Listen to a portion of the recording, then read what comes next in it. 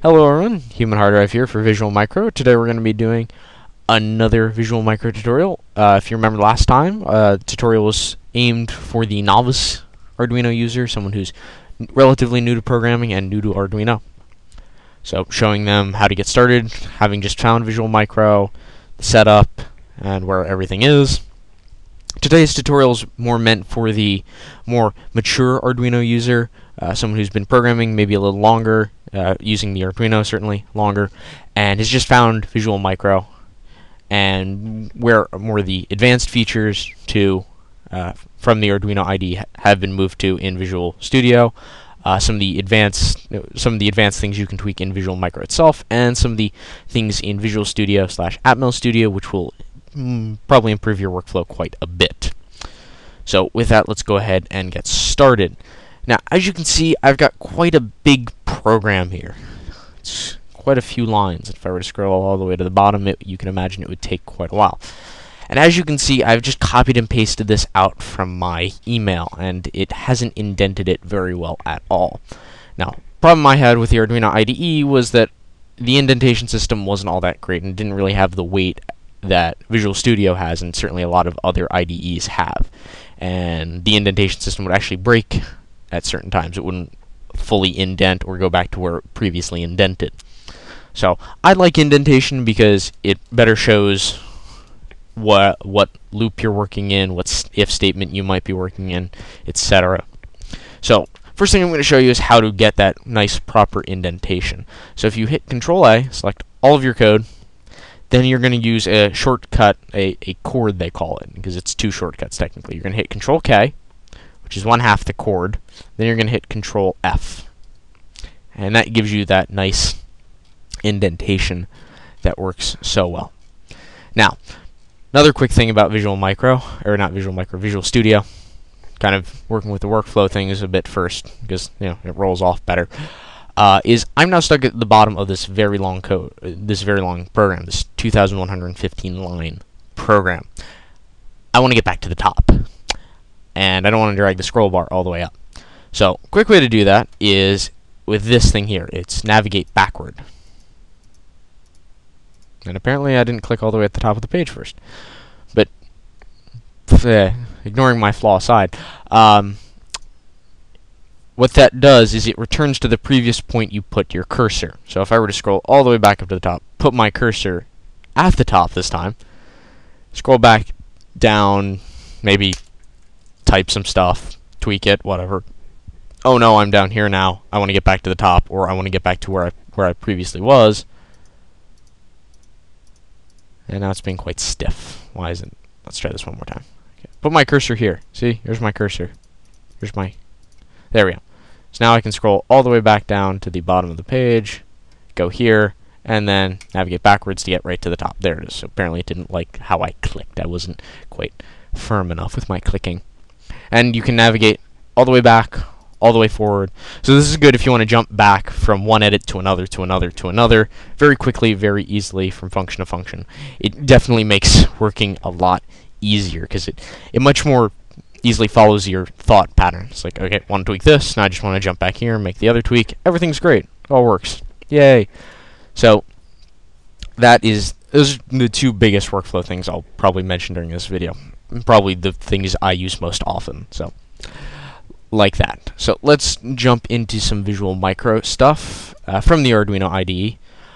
Uh, if you've done a lot of stuff with the Arduino, you probably have bought a couple ATmega 328P chips, and you want to burn the bootloader onto them.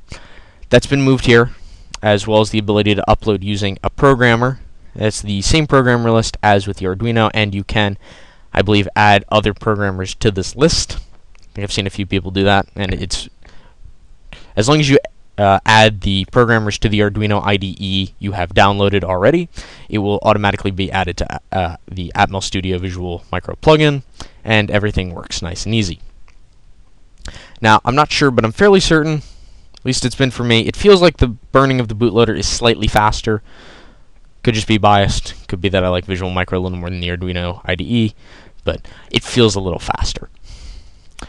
So the, those are where those two more advanced things are. Your novice users obviously not going to burn their own bootloaders very often, if at all, but something you're probably going to use quite a bit if you buy chips instead of boards. So that. Moving on. Now let's come to this. Uh, if you watch the novice tutorial, you probably saw this, which is where you can see all of the example code. Uh, this was didn't show you tools and platform explorer. But what it also has is reference to every um, built-in Arduino command. All you've got to do is double-click, and it opens up a web page, which is actually in the Arduino IDE folder, wherever you put it. So it's nice and easy. This was something that was built into the Arduino IDE. It wasn't very well known.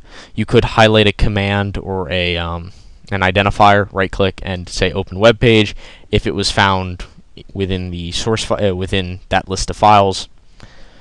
And it certainly beats having to go all the way back uh, or open up a browser and try and go to the Arduino IDE. It's already in your or yeah, go to your browser, go to the Arduino website. It's nice to have it built into Visual Micro. Making a lot of hand gestures that you're not seeing. But yep, so again, it's very quick. You can just select and have it open up. So all you've got to do, and again, you can type in for the command you're looking for because it will auto jump to an alphabetical. It's alphabet. It's alphabetized, so I can start typing, and it will find the command it thinks I want, which is very nice. Other thing that's built in is this sort of Google, this sort of Google web search. So I can look for something relating to SPI, and I can just type that in, and it will show me SPI things related to the Arduino and solely related to the Arduino because they're all very they're very well sorted. It's tagged in a way that only shows you things related to the Arduino. You can look at Arduino reference for SPI, and you can also look at Arduino tutorials and how it's sorted. So it's it's very well thought out that everything you'd possibly want to do with the Arduino, research-wise, reference-wise, is all built in, and that's really great. It just speeds up your workflow immensely. So that's that. So if I close that, there we go. Okay. Yeah, that's indented. It didn't unindent on me. Alright, so let's talk about an issue I'm not sure many people have with the Arduino IDE. It's something I had to tweak with, and that's the concept of multiple Arduino files within one folder. Uh, the biggest issue you'd have is every time you create a new .ino file, it wants to put it in its own proper folder. It's nice. It's meant to keep it nice and organized. Problem with that is if you want to have multiple INO files within one folder, it's going to start complaining when you try and open the INO file that isn't matched to the folder name. But with Visual Micro, what you can do is, if you open up the Solution Explorer, I've got it docked here on the side. Uh, depending on your toolbar configuration, you can find it right here. It's in one of these drop-down menus, but I honestly do not remember which one. I'm probably going to thumb over it and miss it, and someone's going to tell me I missed it. But yeah, it's probably already docked to the side. If you're just load, if you haven't tweaked with your uh, Atmel Studio or Visual Studio window at all, it's probably docked to the side.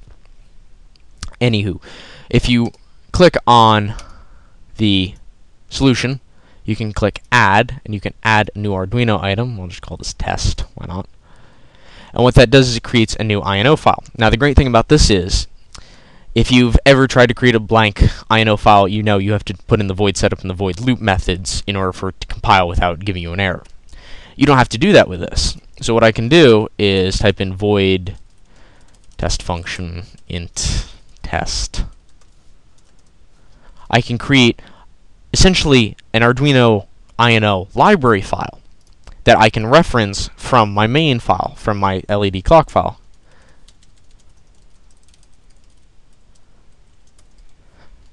So yeah, I can build my own little library file and just fill it with, say, all of the methods, all of the variables, all of the defines. I can have a separate program. I can reference, or not. I can have a separate program. I can have a whole bunch of separate methods related to different processes, which again I can just reference from my main file. It's all very nice and easy, and it's nice because you don't have to write something in, say, C or C++ that you may not be used to, and you can just very quickly create a new file, fill it with all the things you'd need, and keep your main file nice and clean. So I'm not gonna. So yeah, so it puts it right there, which is great. Now the next thing you can do, speaking of library files, I'm just to delete that very quickly. Speaking of library files, is the great thing about uh, Visual Studio is that if I say include a file, like I've included one here, I can, it opens it, or it shows you the path right here. And I can just hit go, and it takes me immediately to the source file. So I can take a look at the .h file. I can look at all the defines, all the methods, all the variables very quickly. And it beats having to open up, your, go find where you have the program folder, look through the library files, find this one, and open it and say Notepad++. You can, because it's a .h file and it's recognized by Visual slash Atmel Studio, you can open it right here. Very nice and quick. Downside, you can't see the .c file. You're probably going to have to mess around with mess around with finding that. But for just trying to find for just trying to find the dot .h file with all the defines and all the methods and such, it's pretty good. Uh, it's pretty good. Good. Uh, in the Solution Explorer, you can also find uh, .h files which are created by Visual Micro. Like this one is the this is the main .h file, and this has a whole bunch of setup for uh, Visual Micro. But the cool thing is that it will actually direct you immediately to the Arduino.h file. Uh, if you don't know what that is, it's sort of what allows the Atmel Studio to commute to work. So it has all of the library file. It ooh, let's try that again.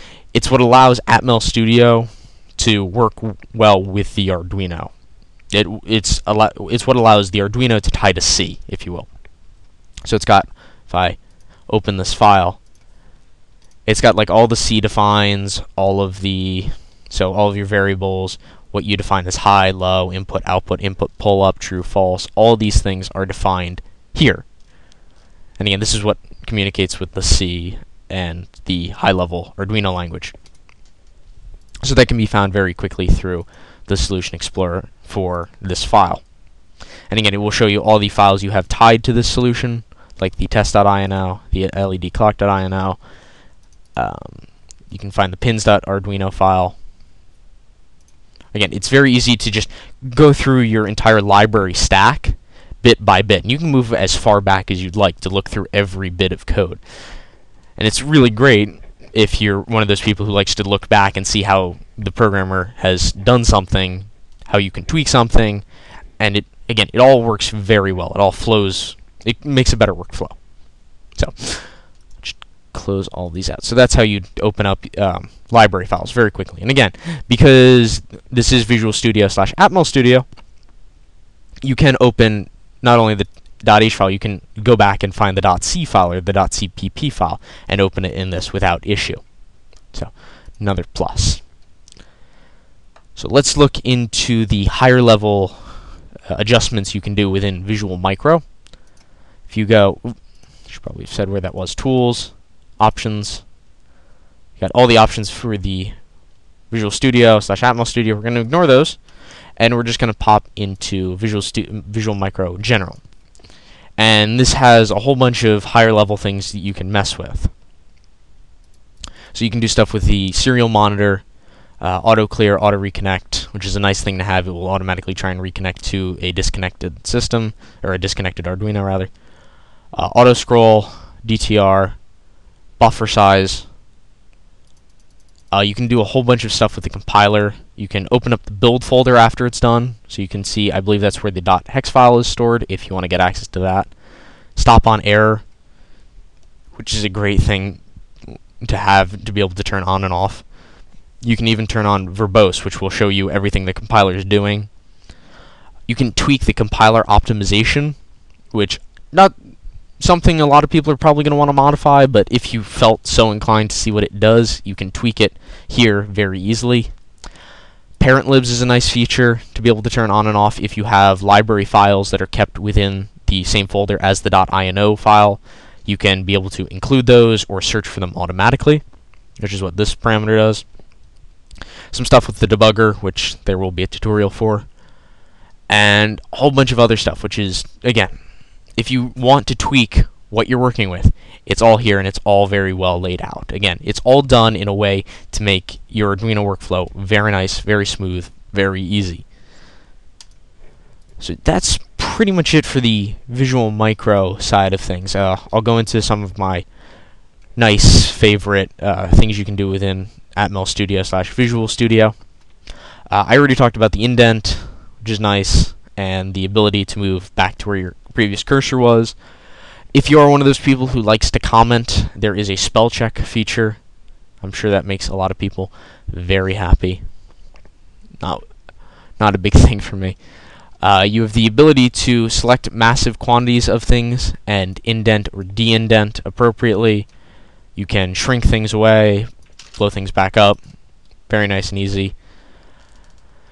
But yeah, it's the sort of thing where if you look around, it's probably look around for a feature, you're probably gonna find it. Oops, it's my antivirus popping up. So if you just look around for something, it's probably already been done. Visual Studio and Atmel Studio are very well done pieces of software that have been written for programmers by programmers. They know what you want, they know what you look for. It's all here for you. Again, that's why it's so much better than the Arduino IDE. Everything you want is just a keyboard shortcut away. It's just an option you can tick on and off, is something you can tweak. It's all right there. So yeah, that's it for the basic Visual Micro stuff. This is all things you can do with the free copy of Visual Micro. Going to be doing, uh, I think, two more tutorials for uh, the debugger, which is a, a paid add-on for Visual Micro, which we'll get to. Uh, we'll talk about that later. But until then, uh, I'm Human Hard Drive, again, here for Visual Micro. Thanks for watching.